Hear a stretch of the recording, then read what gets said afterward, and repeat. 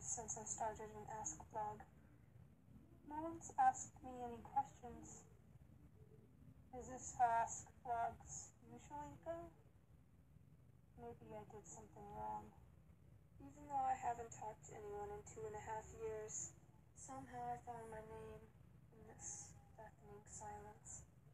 When I first made this blog, I wasn't sure about anything, but I knew I wanted to talk to somebody.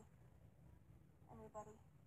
Even though I can't show myself clearly, a lot of time has passed, so maybe I should try again?